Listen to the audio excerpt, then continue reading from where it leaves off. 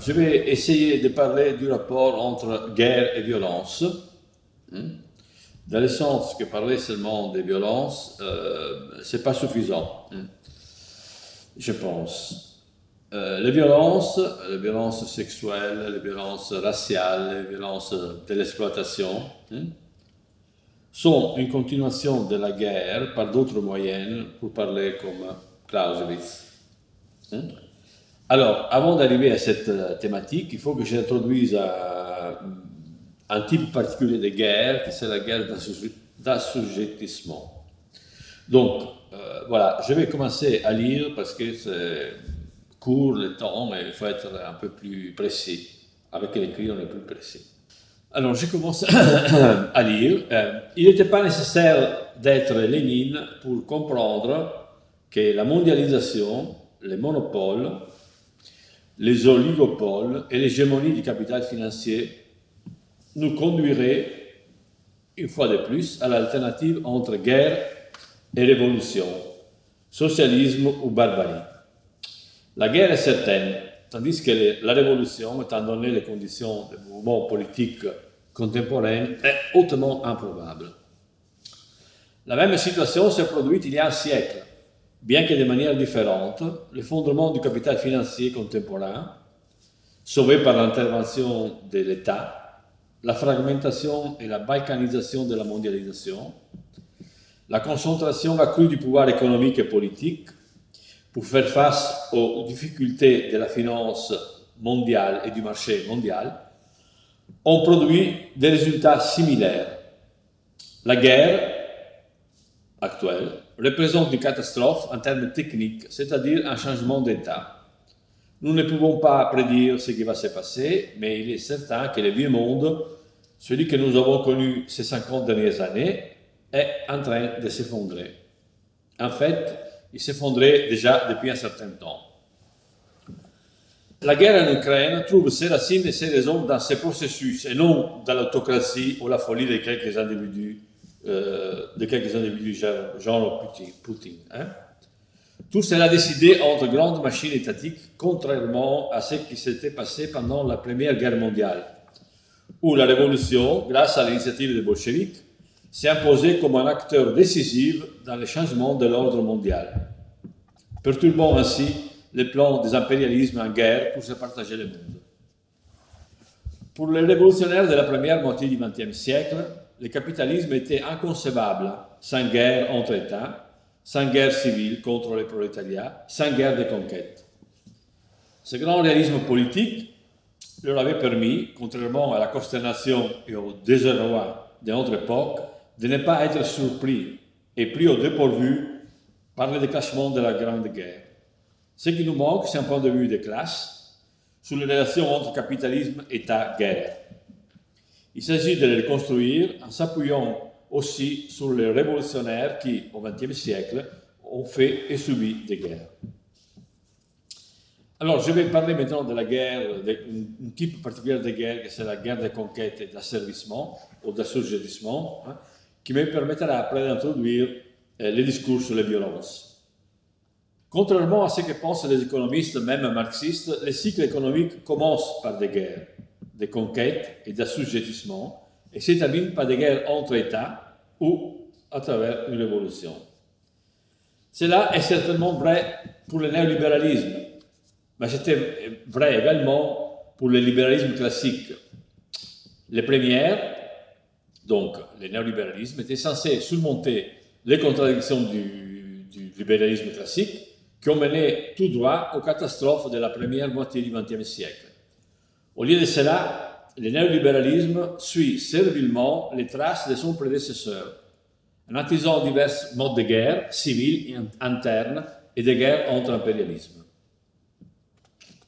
Dans le capitalisme, la, production, qu'elle soit matérielle ou immatérielle, affective ou désirante, cognitive ou neuronale, présuppose toujours la production extra-économique, extra-affective, extra-cognitive des classes sociales.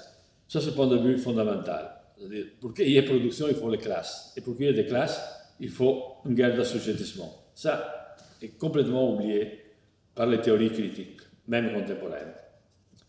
Avant de produire des marchandises, il faut prendre, s'approprier, exproprier par la force de l'État des terres, des populations, des corps, des moyens de production, des ressources et diviser ce qui a été pris.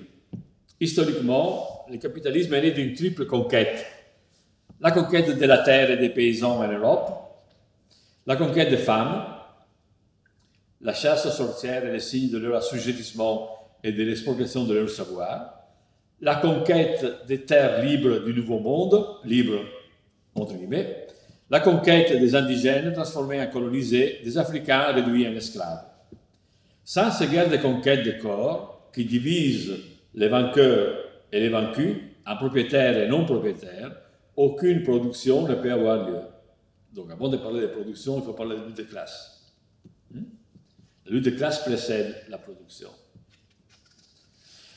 L'expropriation des terres et des moyens de production s'accompagne de l'expropriation des connaissances, des sensibilités et des affections de la communauté. La guerre des conquêtes est aussi une apocalypse culturelle, la fin d'un monde, celui des vaincus. Les deux opérations doivent être répétées au début de chaque cycle d'accumulation. Donc ça se produit pas seulement au moment de l'accumulation euh, primitive originaire, je ne sais pas comment on dit euh, en français, mais euh, ça se produit on commence de chaque cycle d'accumulation. Donc ça a commencé aussi avec euh, les cycles soi-disant néolibéraux, avec la guerre civile en Amérique latine.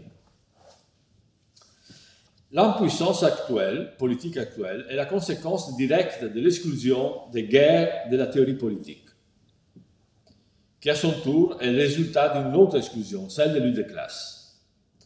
Et cela concerne tous les différents concepts de production qui, depuis les années 60, ont enrichi, élargi, contesté et tenté de, dépasser la théorie marxiste.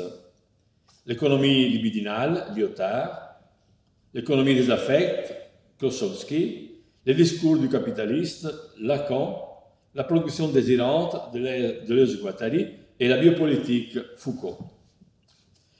Toutes ces théories semblent faire un pas en avant théorique, par rapport au marxisme, puisque le capitalisme fonctionne aussi avec les désirs et les affects, et que ce sont premièrement les désirs et les affects qui contribuent fortement à la constitution des ruptures révolutionnaires. Alors, ce pas en avant, en arrière, va avec deux pas politiques euh, en avant, donc ce pas théorique en avant correspond à deux pas politiques en arrière puisque toutes ces théories contribuent finalement pour pacifier le capitalisme en les séparant des guerres et des luttes de classe. Les élaborations contemporaines de la production immatérielle, cognitive, informationnelle, de la division du sensible comme l'ancien, hein, poursuivent ce travail de dépolitisation qui expulse le caractère conquérant et guerrier de la machine capital-État. On pourrait dire la même chose des différents féminismes qui analysent la violence mais pas la guerre. La cartographie des formes d'exploitation et de domination a été considérablement élargie et précisée par rapport au marxisme dans les années 60 et 70. Hein. Tandis que la guerre n'est pas un objet, qui est problématisé. Et par conséquent, le débat sur la force n'est pas abordé, sauf dans les formes de l'autodéfense. En réalité, ces concepts de guerre, on peut les trouver même chez certains féminismes. Hmm? Il y a une multiplicité de théories féministes. Dans certaines théories féministes, on trouve le concept de guerre, mais seulement un concept de guerre particulier, celui d'assujettissement dont on est en train de parler. En réalité, les concepts de guerre, on peut les trouver parmi la multiplicité des théories féministes, avec un focus particulier sur la guerre des conquêtes, le féminisme matérialiste français et Silvia Federici accordent une place centrale à la question de la conquête et de l'assujettissement. Les femmes sont des objets d'appropriation par les hommes, de la même manière que les ouvriers et les esclaves ont été capturés par les guerres de conquête et de l'accumulation primitive. Federici parle de la guerre contre les femmes comme d'un acte originel d'appropriation qui doit être répété au début de chaque nouvelle phase d'accumulation. Véronica Gago tente d'étendre la pertinence du concept de guerre au-delà de l'accumulation originelle, en montrant que cette guerre de conquête se prolonge une fois la victoire obtenue sur les femmes, les travailleurs et les colonisés, par une multiplicité de violences qui ne suffit pas de quantifier et de classer, car elle renvoie à une stratégie de classe et de guerre. Je cite euh, euh, une phrase de Véronica. Hein. La notion de guerre permet de faire émerger une dynamique conflictuelle plutôt que d'insister sur les pathologies des hommes et d'éviter les discours sur les crimes passionnels, sur la psychologie individuelle. Donc voilà, il y a une tentative aussi chez le féminisme de passer de la violence à la guerre. Hein. Donc là, on fait ce que je vais essayer de faire euh, tout à l'heure, tout de suite. Il faut bien avoir à l'esprit que le capitalisme présuppose ce que Foucault semble nier, c'est-à-dire une domination imposée par la force qui doit déterminer des oppositions, des polarisations, des dualismes en matière de travail, de race et début, les, débuts du capitalisme, c'est l'affirmation des dualismes. Hmm? La conception du pouvoir élaborée par Foucault refuse de partir des conditions réelles du capitalisme, c'est-à-dire de la division binaire, globale et massive entre dominateur et dominé, et privilège au contraire une production multiforme des rapports de domination, la codification des multiplicités des rapports de force. Mais le capitalisme ne commence pas comme ça, commence avec une guerre de conquête. La division entre propriétaires et non propriétaires, la domination des hommes sur les femmes, des blancs sur les non-blancs, ne sont pas les résultats de la production, mais c'est qu'elle présuppose. Hmm? Pas, ça ne vient pas après, ça vient avant. Par la suite, ce dualisme, donc son dualisme originaire, seront intensifiés ou affaiblis selon le développement des rapports de force. Mais il reste l'enjeu. Le capitalisme doit nécessairement les reproduire et les dominés doivent les faire exploser à partir de la multiplicité que constituent les classes des travailleurs, des femmes et des colonisés. Il faut élargir ce concept de guerre d'assujettissement, de conquête. La conquête des corps, dont je viens de parler, s'articule au niveau du marché mondial. Effet très important qui ne rendent pas que les théories que je viens de citer tout à l'heure ne rendent pas compte parce qu'elles sont eurocentrées, est produite et stabilisée de manière différentielle entre nord et sud par la conquête de l'Amérique. Au nord, la, consolidation du pouvoir des vainqueurs va mobiliser les droits, les salaires, la consommation et tous les instruments que les théories des années 60 et 70 ont élaborés. Affection, désir, jouissance, etc. Pour pouvoir intégrer les vaincus. Au sud, en revanche, à l'institutionnalisation du travail, à l'intégration par le bien-être, à l'action par les affects et la jouissance de la consommation, on préfère la violence coloniale, la gouvernementalité par le racisme, et la guerre civile permanente. Cette violence différentielle entre nord et sud, entre centre et périphérie, issue des guerres de conquête depuis 1492, constitue la deuxième condition politique de la production. Donc il y a les dualismes, première condition. Deuxième condition, ces dualismes sont produits à l'échelle mondiale avec une différence entre nord et sud. Il y a une troisième condition pour que la production soit possible. Hmm? Donc, avant l'économie, il y a ces trois conditions. La troisième est représentée par les non-dits de cette théorie, les théories que j'ai citées tout à l'heure, Klosowski, Deleuze, euh, Foucault, Lacan, etc., etc., euh, Deleuze-Guattari. Les subjectivités ne peuvent être mobilisées, les normes des pouvoirs ne peuvent être internalisées, les affects effectivement les impliquer, Seulement, lorsque la lutte dans laquelle elles sont engagées a produit la séparation entre vainqueurs et vaincus. C'est-à-dire que la subjectivité peut être mobilisée, peut être intégrée dans la société seulement parce que d'abord elle a été vaincue. Hein? La gouvernementalité qui poursuit la guerre de conquête par d'autres moyens ne peut agir sur la subjectivité qu'après avoir gagné. Réalisons aussi le programme de Thatcher, hein, que c'était l'économie n'est que la méthode, le but est de capturer l'esprit de l'individu. Après avoir conquis les corps par la force, il faut conquérir l'âme en mobilisant les affections. Donc au début, il y a toujours la guerre civile. Au début, il y a toujours la guerre de conquête. Hein. Après, il peut y avoir euh, la gouvernementalité. Après, il peut y avoir l'intégration. Mais il faut que la guerre détermine qui, a, qui sont les vainqueurs, qui sont les vaincus, qui sont les propriétaires et qui ne sont pas les propriétaires? Autrement, la production ne démarre pas. Aucune normalisation économique, sexuelle ou raciale ne peut s'installer dans une situation caractérisée par un haut niveau de lutte de classe. Une normalisation préventive, à la fois politique et subjective, est nécessaire. Les recours à la violence et à la guerre civile variant selon les circonstances. Donc il faut d'abord qu'il y ait la guerre, parce qu'après il y a la norme. La norme arrive après. La société des normes, comme Foucault, on peut l'expliquer seulement après.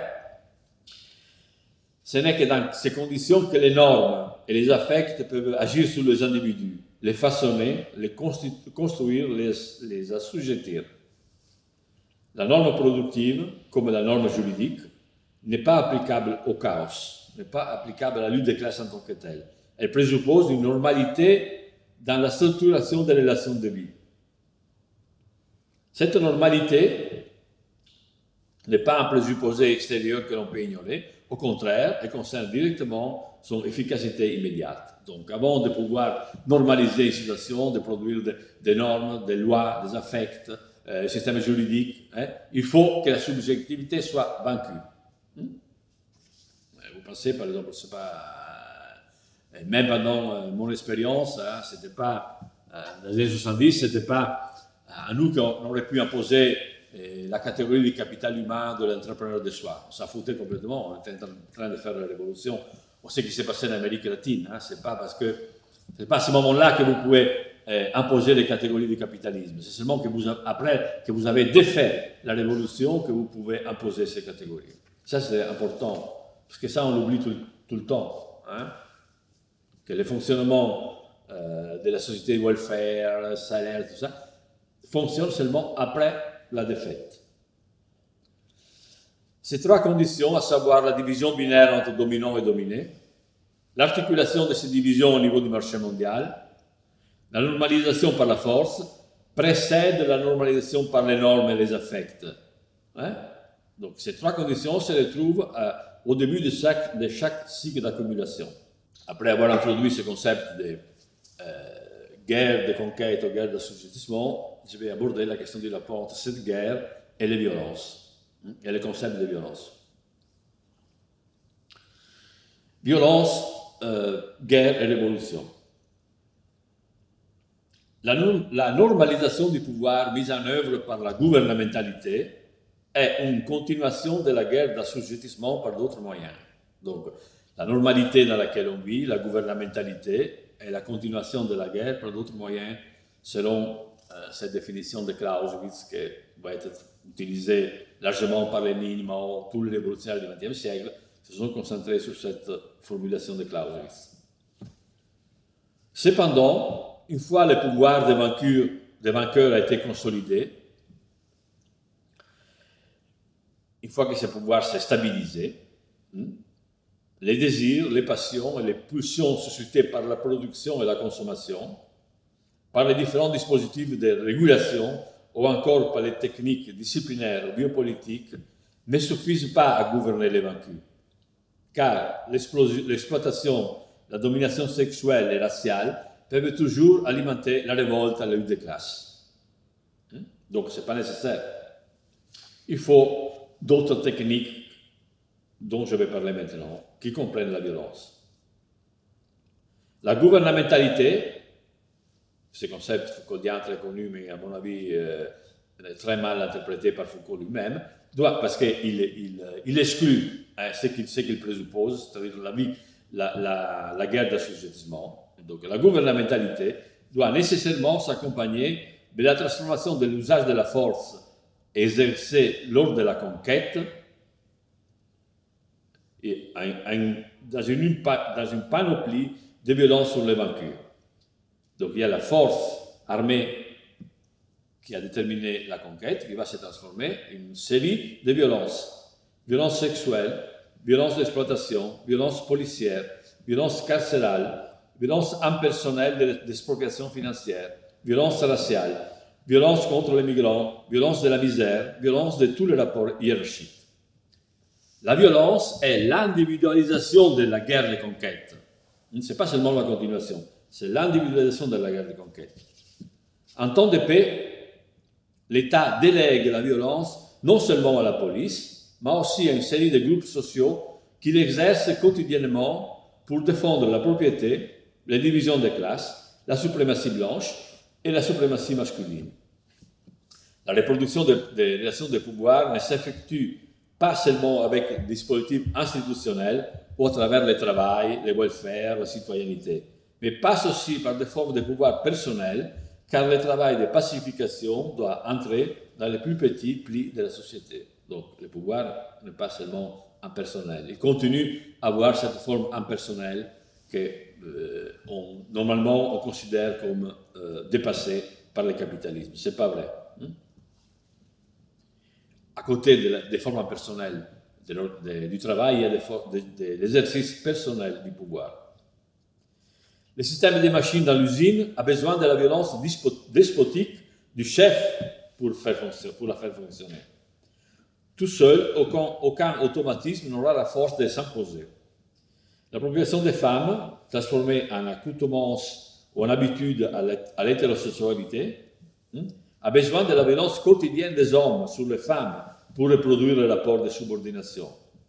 La suprématie blanche exige un exercice continu du rejet de l'insulte, de la suspicion et du meurtre sans aucune différence entre celui qui l'exerce, policier ou citoyen, comme l'Amérique, ou plutôt les Amériques, le montrent de manière exemplaire. La division des classes, malgré l'action de la production, de la monnaie, du bien, du welfare, du droit, ne se reproduit pas sans une charge de violence personnelle sur laquelle veille la police. Sans cette violence personnelle généralisée, omniprésente, les dispositifs d'assujettissement ne produisent pas de corps dociles. Donc il n'y a jamais eu en réalité de préservation de la vie pour tous, comme dit Hobbes, ni d'augmentation de la puissance de vie pour l'ensemble de la population, comme dit Foucault, ni de protection de la vie des citoyens sans discrimination. Les vies sont sélectionnées par les biais des divisions de classes, de sexes et de races. Certaines vies méritent d'être préservées, d'autres sacrifiées. Certaines vies doivent être protégées, d'autres exposées à la violence. Donc il y a toujours cette reproduction de classes qui traverse tout. Et cette division de classes qu'on a complètement oubliée avec la guerre. On a effacé, on a refoulé la guerre, les classes et la révolution. C'est pour ça qu'on est dans cette situation absolument difficile dans laquelle on ne sait pas quoi dire face à la guerre. L'individualisation à laquelle sont soumis les vaincus, hein, devenir un sujet individuel, est avant tout une individualisation de la guerre, qui devient une violence invisible précisément parce qu'elle est individualisée. La violence passe d'un individu à, l'autre et a le visage du quotidien, du local, du familier. Elle n'a pas le caractère spectaculaire de la guerre, même s'il s'agit de sa transformation, de la transformation de la guerre. Alors, pour, comprendre le rapport entre guerre et violence, je vais introduire, euh, je vais introduire euh, un raisonnement que fait Franz Fanon hein, euh, à propos de la violence médiatique. C'est très intéressant comment on, pense le rapport entre violence et guerre. Hein, à mon avis, même si ce concerne situation coloniale, hein, c'est un modèle sur lequel il faudrait penser les rapports entre guerre et violence. Il écrit ça par rapport à, l'Algérie. Il c'est des pages magnifiques sur, comment fonctionnent les, médias euh, et la violence médiatique euh, pendant la guerre d'Algérie contre la colonisation française. Hmm? Franz Fanon nous dit que pour lutter contre l'exercice quotidien de la violence, il faut la reconnaître comme l'individualisation de la guerre d'assujettissement. c'est-à-dire la politiser en tant qu'expression d'une violence de classe, blanche et racialisée. La violence est la transformation de la force d'appropriation des corps en exercice individualisé de la domination. La tâche politique consiste à transformer la violence individuelle subie en force politique collective et à l'utiliser de manière offensive. Hein? Pas pour se défendre, défendre évidemment, mais pour attaquer. Ça c'est important. Une autre chose qu'on a complètement oublié, c'est cette, euh, euh, stratégie de l'attaque. Hein? On se défend, mais on n'arrive pas à se défendre. C'est ça le problème. On recule tout le temps. En se défendant, on ne fait que reculer. Parmi les formes de, violence qui affectent la subjectivité, Fanon énumère la violence sémantique, la violence du mot médiatique, la violence physique des affects produits par la radio, la radio coloniale, la radio des Français. Ordre, menaces, insultes qui sont euh, ressentis par la population colonisée en, euh, Algérie. Donc, les, affects que cette parole a sur l'âme des, des indigènes assujettis. L'action du discours sur les minorités raciales, sexistes, est au centre d'un débat qui, a été fait récemment, hein, récent, qu'il défini comme un discours qui fait mal, le discours de haine raciste, sexiste, homophobe, qui ne se contente pas de, les décrire, mais voudrait établir par les discours ce que le discours de haine annonce, donc un, un effet performatif. Le corps peut être alternativement fortifié ou menacé par les différentes manières dont la parole lui est adressée, selon euh, Judith Butler. Hmm? Même ce discours, je trouve qu'il est un peu limité. Il n'a pas la portée euh, révolutionnaire et de rupture de Fanon. Alors là, je vais décrire euh, rapidement le fonctionnement de cette violence. Les Français débarquent en Algérie entre 1830 avec 150 000 soldats et conquièrent, et la conquièrent, il y a une conquête de l'Algérie euh, pendant cette époque. À la conquête du corps par les armes, les colonisateurs voudraient faire suivre la conquête euh, de l'âme. Une fois la, paix est, imposée, la radio fait partie intégrante des stratégies d'asservissement du colonisateur français. Dans la colonie, et donc là, il y a une, radio qui s'appelle Radio France, je pense que je ne me rappelle plus très bien, voilà, qui, fait, qui, commence euh, ses émissions pour après avoir conquéri le corps, hein, pouvoir conquérir l'âme. Dans la colonie, dit Fanon, la dichotomie sociale atteint une intensité incomparable, de sorte que la voix de la radio est la voix de l'oppresseur, de l'ennemi. Il s'agit d'une violence vécue individuellement, d'une violence que chacun subit de son côté. Tout mot français était reçu, euh, tout mot français reçu qui venait de la radio était vécu comme un ordre, une menace ou une insulte. En Algérie, la radio et ses affections, les pouvoirs sensoriels, dit euh, Fanon, et ses pouvoirs intellectuels, toujours Fanon, font l'objet d'un refus. La parole n'est pas du tout reçue, déchiffrée, comprise, mais refusée. Mais ce refus est d'abord passif. Hein? Il, ne, il, vise pas à renverser le rapport de force généraux. Il n'y a pas de résistance organisée, dit euh, Fanon. Le rejet de la radio et informations n'est pas l'expression d'une résistance explicite, ordonnée et fondée. Reste un refus individuel. Et là, c'est le rapport entre violence du, du discours et l'individu. Donc, violence individuelle. Les affects et la violence de la radio sur la subjectivité ressortent fortement lorsqu'ils sont analysés d'un point de vue psychopathologique, ce que fait Fanon, qui est un psychiatre euh, comme métier. Hein. Les monographies sur les pauvres algériens hallucinés soulignent constamment, dans la phase dite d'action extérieure, les voix, des voix radiophoniques fortement agressives et hostiles. Et sont ressenties comme des voix métalliques, pressants, insultants, désagréables, ont tout un caractère accusateur, inquisiteur contre l'Algérien. Donc ça, ce sont des, ça ressort du travail euh, psychiatrique de, de Fanon.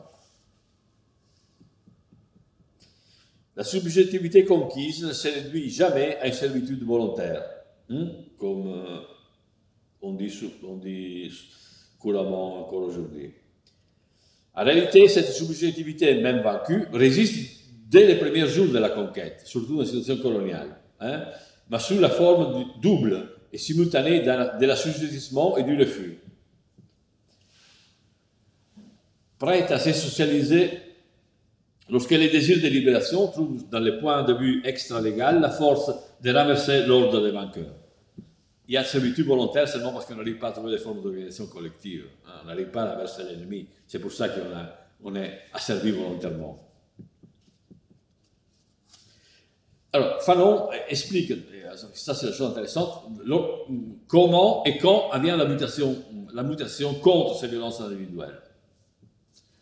Une véritable mutation se produit le 1er novembre 1954 avec les premiers appels du Front national de libération au peuple algérien, hein, qui marque le début de la guerre d'indépendance. Et en 1956, avec l'ouverture d'une émission de la radio de l'armée de libération, donc c'est une radio de la guerre civile contre le colonialisme, la voix de l'Algérie libre. La contestation du principe même de la domination étrangère induit les changements essentiels dans la conscience du colonisé dans sa perception du colonisateur, dans la situation de l'homme dans le monde dit Fanon. C'est-à-dire, c'est la déclaration de guerre qui va changer la subjectivité. Hmm? Le changement subjectif ne devient pas de façon individuelle. Il a lieu au moment de la rupture politique. Je ne sais pas si la déclaration de, euh, guerre relève de la catégorie performative, je le doute, hein, avec laquelle on voudrait critiquer les mots qui blessent et les discours qui insultent. Au contraire, je suis sûr qu'il s'agit d'une déclaration collective, d'un événement qui coupe l'histoire en deux, créant un avant et un après le 1er novembre 1954. Les sujets politiques ne préexistent pas à cette rupture, mais se constituent en elle. La mutation subjective émerge des pratiques et des dispositifs politiques qui sont stratégiques parce qu'ils désignent l'ennemi. C'est une fois qu'on a désigné l'ennemi, les moyens avec lesquels on va le battre, les formes d'organisation qui a mutation de la subjectivité. Et c'est de cette façon qu'on va politiser la violence individuelle comme violence de classe et font émerger hein, les façons avec lesquelles on va la combattre. L'émancipation de la violence personnelle, quotidienne et omniprésente du colonisateur ne peut se limiter à l'autodéfense mais passe nécessairement par l'expropriation des expropriateurs, c'est-à-dire, ça c'est phrase de Marx, hein, exproprier les expropriateurs, c'est-à-dire par le renversement du résultat de la guerre d'assujettissement. Il faut que la guerre de conquête soit renversée hein, pour qu'il y ait une rupture subjective, pour que la subjectivité change. Ça, c'est un autre, une autre euh, problème qu'on a laissé de côté, comme si on pouvait changer le monde sans passer par cet renversement. Hein, sans exproprier les expropriateurs, pour le dire comme Marx, c'est-à-dire sans renverser la rupture qui nous a euh, vaincus. La résistance organisée, la résistance organisée entrave et renverse le fonctionnement de la violence colonialiste individuelle. Dans la guerre révolutionnaire, le colonisé devient un sujet collectif, même s'il ne participe pas directement à l'organisation politique, car la radio l'inclut dans une communauté en marche donc, ce sont acteurs. Parole de euh, Fanon. La réception de la formation n'est plus personnelle. Hein? Ne se fait plus dans l'isolement et la peur, mais a lieu au sein d'une communauté, d'un corps social dont l'auditeur est un participant actif. Toujours des concepts de Fanon. À la vérité de l'oppresseur, autrefois rejeté comme un mensonge, euh, un hein, s'oppose enfin une autre vérité agitée. Il faut opposer une autre vérité à la vérité du pouvoir. Pour devenir un partisan de l'information, donc il faut une rupture politique et une machine politique qui divise non seulement l'information, mais aussi la société. Donc la condition pour renverser la violence individuelle, c'est cette rupture. Fanon observe, également un changement radical d'un point de vue psychopathologique, c'est-à-dire la rupture introduite par la, déclaration de guerre hein, va changer la subjectivité même individuelle. Dans les psychoses hallucinatoires, les voix radiophoniques deviennent protectrices, complémentaires, les voix de la, radio de la guerre civile. Les insultes et les accusations disparaissent et laissent place à des mots d'encouragement. Vous voyez comment on reçoit différemment hein, à partir de la rupture politique, mais à partir de la politique générale. Fanon impute nombre de ces pathologies produites par la violence non pas à la machine technique de la radio, hein, mais à la machine de guerre du colonialisme et travaille à la construction d'une organisation révolutionnaire à laquelle il confie la tâche, sinon de les guérir, c'est pas psychopathologie, de moins de modifier l'environnement pour le rendre favorable à une évolution positive de la psyché blessée. Chaque Algérien se sent envoyé, se sent impliqué et veut devenir un élément du vaste réseau de signification de la bataille libératrice, dit euh. Donc, pour conclure, les passages de la violence individuelle, micropolitique, subis à la dimension, le passage de la violence individuelle micropolitique subie à la dimension de l'organisation collective produit, les conditions d'une mutation subjective, car il permet d'attaquer, de prendre l'initiative, de décider, de décider le terrain de la confrontation. Hein? Brisons le temps de l'assujettissement individuel, des pratiques uniquement défensive, faisant migrer la peur dans les camps de l'adversaire. Je pense que c'est fondamental cette histoire de, l'attaque, hein, de ne pas rester seulement sur la défensive. Hein. on a complètement oublié, mais pour attaquer, il faut des, autres conditions de ce qu'on a aujourd'hui. Hein. Mais c'est à ce moment-là qu'on va, nous, choisir le terrain de l'affrontement. Là, on se bat seulement sur un terrain d'affrontement qui nous est imposé et sur lequel on n'arrive même pas à se défendre. On arrive seulement à perdre. Depuis 50 ans, on fait que perdre. La défense ou l'autodéfense n'est qu'une forme praticable de la lutte, une forme praticable. Hein. On n'entend plus, donc les Algériens n'entendent plus les voix offensives et menaçantes hein, de la radio française, car il, car il existe une réelle possibilité de renverser l'assujettissement à subjectivation politique par les pratiques et les stratégies de l'action collective. Donc là, c'est vraiment la conclusion. Je suis déjà entré dans la, conclusion. La normalisation, hein, qui produit non seulement la violence individuelle, mais aussi la croyance en la gouvernementalité, hein, comme organisation de l'équilibre,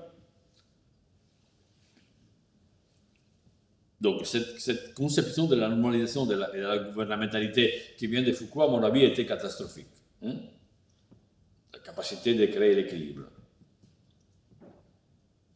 Cet équilibre, donc cet équilibre, c'est l'équilibre par exemple des, comptes économiques, c'est l'équilibre de la balance des paiements, c'est l'équilibre de la dette. Hein. Et cet équilibre est, dans sa prétention à être quelque chose de plus que précaire et temporaire, une idéologie que le pouvoir raconte, lui, raconte de lui-même. Parce qu'au contraire, il est nécessairement destiné à exploser. Il n'y a pas d'équilibre dans le capitalisme possible. On est, il y a seulement des déséquilibres.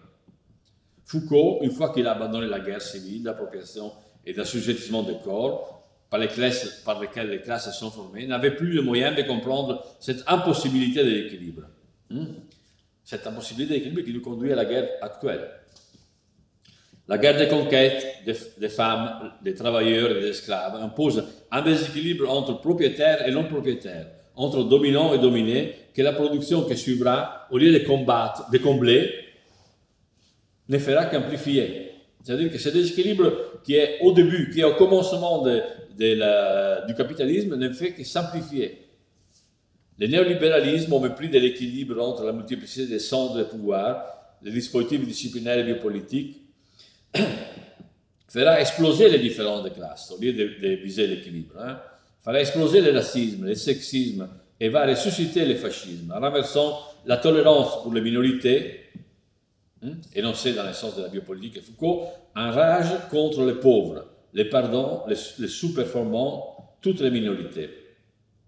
Ces contradictions qu'on a vues au début, hein, et qui se manifestent aussi à travers des guerres individuelles, ne peuvent que conduire à la guerre. Hein. Ça, c'est une autre euh, chose que, les révolutionnaires du XXe siècle savaient très bien, et donc ils s'est préparé. Hein. Ils savaient déjà que le capitalisme n'a pas d'autre solution que finalement la guerre entre États ou la guerre révolutionnaire. Voilà. C'est toute cette euh, traditions, tous ces bagages intellectuels et politiques qu'on a perdus et que ça serait grand temps de pouvoir commencer à récupérer.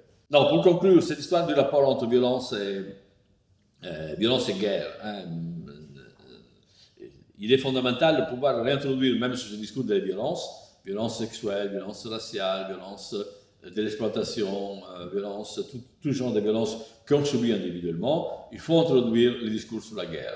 Hein. Hein. C'est une chose qu'on a complètement... Il y a trois refoulés, comme j'ai dit tout à l'heure, de, depuis 50 ans euh, dans, dans, le passé critique. Hein. La guerre, la révolution, fondamentalement c'est deux choses, la lutte des classes. La lutte des classes, ça dépend. Mais guerre et révolution ont complètement été éjectés. Euh, de la pensée critique, hein, comme si c'était quelque chose qu'on ne pouvait pas... Euh, et surtout, on fait pas... On a complètement, avec ce euh, refoulement de la guerre et de la révolution, on a complètement refoulé aussi la tradition des révolutions. Hein. Le XXe siècle, c'était le siècle des révolutions. Hein. On n'a jamais fait autant de révolutions comme au XXe siècle. L'histoire de l'humanité ne connaît pas un nombre si important de révolutions qui ont commencé avec la révolution mexicaine et jusqu'à la révolution des années 80 euh, en Amérique centrale. Si vous faites la somme de toutes les révolutions, c'est énorme ce qui s'est produit. Hmm? Et donc, on a un savoir hein, très important qui a, été, passé par rapport à ça.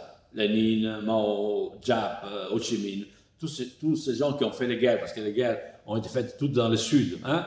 Il n'y a pas eu de guerre, de, guerre, euh, de révolution dans le Nord. Hein. Le Nord. La dernière révolution qui a été faite dans le Nord, c'est la révolution française.